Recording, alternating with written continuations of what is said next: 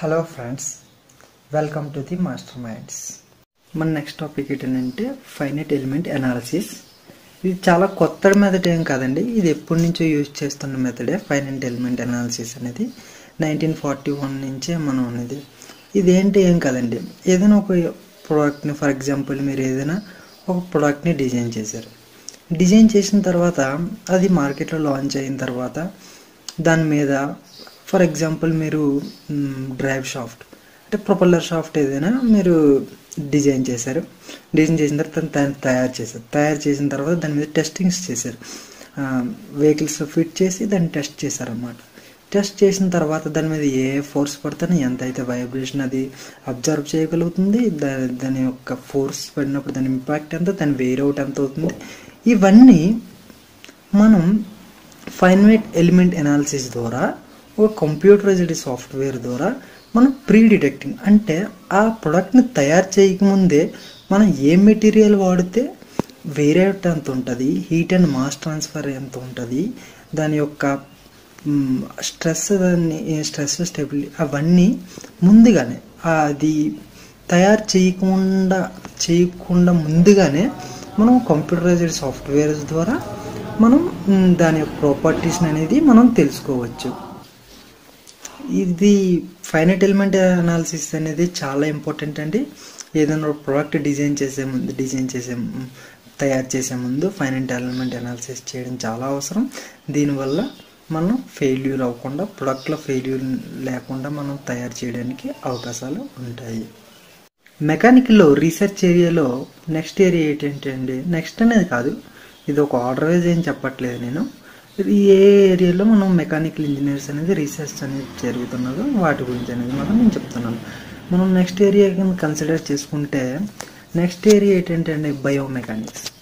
Biomechanics అంటే ఏమి కాదండి. ఇప్పుడు మూమెంట్స్ ఉంటాయి కదా లివింగ్ ఆర్గానిజమ్స్లో. అది హ్యూమన్ అవ్వచ్చండి ఎనిమల్స్ అవ్వచ్చు ప్లాంట్స్ అవన అవ్వచ్చు ఫంగి అనవచ్చు వైరస్ అయినా అవ్వచ్చు. ఇది దేని గురించి ఏం కాదు. ఏవైతే లివింగ్ ఆర్గానిజమ్స్ అనేవి ఉన్నాయో వాటి యొక్క మూమెంట్స్ని మనం ఈ బయోమెకానిక్స్ ద్వారా తెలుసుకుంటాం అనమాట ఈ బయోమెకా మెకానిక్స్ అనేది మూమెంట్స్ ప్రతి ఒక్క హ్యూమన్ బాడీలో మూమెంట్. ఇప్పుడు ఇది చాలా అనేది చాలా ఇంపార్టెంట్ అండి. ఇప్పుడు ఇండస్ట్రియల్స్లో. ఎందుకనుకుంటే ఇండస్ట్రియల్లో హ్యూమన్ మూమెంట్స్ అనేది చాలా ఇంపార్టెంట్ రోల్ అనేది ప్లే చేస్తాయి సో బయాన్ మెకానిక్స్ యూజ్ చేసి మనం రకరకాల బయోమెకానిక్స్ ఈ దీన్ని యూజ్ చేసి మనం రకరకాల మూమెంట్స్ అనేది మనం కాల్కులేట్ చేయడం అనేది జరుగుతూ ఉంటుంది. తెలుసుకోవడం గురించి అనేది జరుగుతూ ఉంటుంది. ఇది బయో మెకానిక్స్ మనం ఇంకా మెకానికల్ ఇంకో రీసెర్చ్ ఏంటంటే సిఎఫ్డి అండి. సిఎఫ్డి అంటే కంప్యూటేషనల్ ఫ్లూయిడ్ డైనమిక్స్ అంటే ఈ వర్డ్లోనే మీకు అర్థమైపోయి ఉంటుంది. మనం ఫ్లూయిడ్ యొక్క డైనమిక్స్ అంటే మూమెంట్ ఫ్లూయిడ్ యొక్క ఫ్లోకి కొన్ని పైపులు కానీ చాలా గ్యాస్ పైపులు కానీ ఒక్కొక్కసారి బర్స్ట్ అయిపోవడం మీరు వినే ఉంటారు లేదంటే చూసే ఉంటారు. ఎందుకు అవుతాయి అంటే వాడి యొక్క ఫ్లూయిడ్ యొక్క ప్రెషర్ని తట్టుకోలేక పైపులన్నీ బ్రస్ట్ అవుతుంది.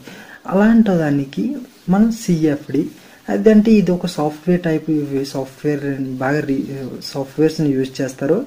ఈ కాల్కులేషన్స్ గురించి సిఎఫ్డి అనేది computational dynamic computational computational fluid dynamics అని ఈ సాఫ్ట్వేర్ని యూజ్ చేసి ఇది ఇందులో చాలా చాలా టైప్స్ సాఫ్ట్వేర్స్ ఉన్నాయి. ఇది అడ్వాన్స్డ్ రీసెర్చ్ అండి. ఈ రీసెర్చ్ని మనం అంటే ఇది ఓన్లీ న్యూమరికల్ వాల్యూస్ని అంటే ఇప్పుడు ఫర్ ఎగ్జాంపుల్ స్ట్రెస్ వస్తాయి. ఇవన్నిటిని మనం ఈ న్యూమరికల్ వాల్యూని ఆర్గన్ ఆల్గరిథమ్స్ని యూజ్ చేసి సాఫ్ట్వేర్ అనేది డేటా మొత్తం అంతా అనలైజ్ చేసి మనకి బెస్ట్ పాసిబుల్ రిజల్ట్స్ అవుతాయి ఇది ఎక్కువ అడ్వాన్స్డ్ మంచి మంచి సూపర్ కంప్యూటర్స్ని యూజ్ చేస్తే బెస్ట్ రిజల్ట్స్ వస్తాయండి. ఇది కంప్యూటేషనల్ ఫ్లూయిడ్ డైనమిక్స్ నెక్స్ట్ వచ్చింది ఎకాస్టికల్ ఇంజనీరింగ్ ఎకాస్టికల్ ఇంజనీరింగ్ అంటే ఇది పెద్ద ఏదో పేరులోనే ఏదో ఉన్నట్టుగానే ఎకాస్టికల్ అంటే మీకు అందరికీ తెలిసే ఉంటుంది. ఎకాస్టిక్స్ మీన్స్ ధ్వని అంటే శబ్దం తెలుగులో చెప్పాలంటే శబ్దం.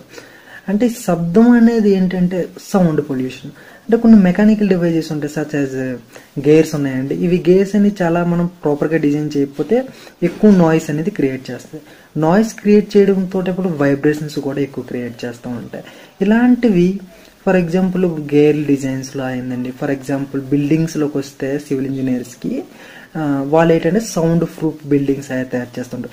ఇవన్నీ ఇదంతా డీల్స్ చేస్తుంది అకోస్టిక్ ఇంజనీర్ ఇది మెకానికల్ ఇంజనీర్ ఒక సబ్ పార్ట్ అండి దీని మీద అనేది ఇంజనీర్స్ అనేది కంటిన్యూస్గా వర్క్ చేస్తున్నారు. నాయిస్ పొల్యూషన్ అవాయిడ్ చేయడానికి. అంటే ఇప్పుడు ఫర్ ఎగ్జాంపుల్ బెల్ట్స్ ఉన్నాయి చూడండి. కొన్ని బెల్ట్స్ అని చాలా ఎక్కువ నాయిస్ చేస్తుంటాయి దాన్ని రీప్లేస్ చేయొచ్చు? ఫ్యాబ్రిక్ బెల్ట్స్ తోటి లేదంటే లెదర్ బెల్ట్స్ తోటి. ఇవి రీప్లేస్ చేయడం వల్ల ఏంటంటే సౌండ్ అనేది తగ్గుతుంది. ఫర్ ఎగ్జాంపుల్ గేర్స్ని ప్లాస్టిక్ గేర్స్తో రీప్లేస్ చేయొచ్చు. అంటే కొన్ని ప్రాపర్టీస్ మనకి అక్కడ ఉన్న సూటబిలిటీని బట్టి ప్లాస్టిక్ గేర్స్ రీప్లేస్ చేయడం బై మీన్స్ అన్ని గేర్లు అన్ని చోట్ల రీప్లేస్ చేయలేం. ఎందుకంటే వేర్ అవుట్ ఎక్కువ అవుతుంది.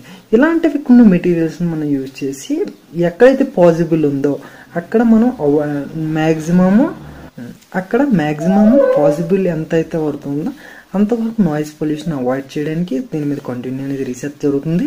ఈ ఇది ఒక మేజర్ రీసెర్చ్ ఏరియా అని చెప్పచ్చు. ఇలాంటి మరిన్ని వీడియోల కోసం సబ్స్క్రైబ్